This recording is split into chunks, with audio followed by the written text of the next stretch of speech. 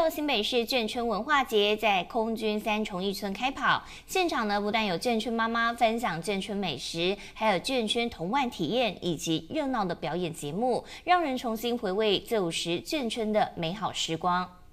眷村妈妈回娘家，现场烹调红烧狮子头、宫保鸡丁等各式拿手招牌菜。新美市长朱立伦也到场，与美食达人梁佑祥合力制作夫妻肺片，分享眷村美食。这个不能说夫妻，但是这个上一代跟下一代的成员，你邻你们两个邻在一块，我来邻邻邻邻邻邻那边，对，好一起啊，好市长我们一起看在前面，来向妈妈看前面，看前面哈，看到，好你 OK 好。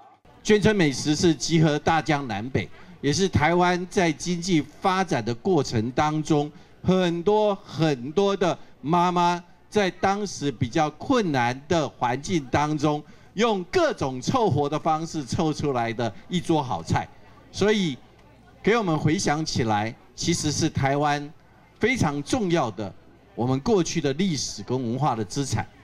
二零一六新北市眷村文化节在空军三重一村热闹展开。新北市长朱立伦期盼眷村守望相助的精神能一代一代传承下去。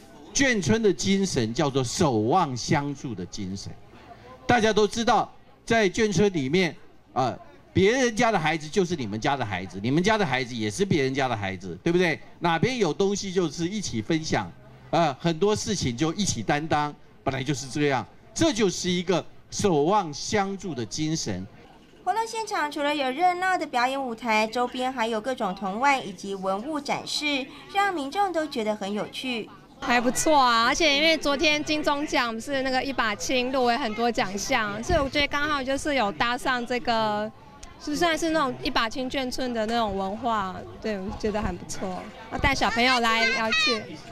看影片。嗯，啊，谢谢。那你今天要来玩什么？赛，玩赛，好不好玩？文化局表示，空军三重一村是新北市唯一仅存、保存最完整的空军眷村，预计一百零六年将动工修复，一百零七年完工，成为新北眷村文化保存的艺文场域。记者沈秀丽美会三重采访报道。